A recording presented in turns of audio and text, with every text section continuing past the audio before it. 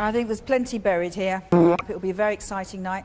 And I hate to worry the audience uh, about half an hour ago. Sorry about that, Fred.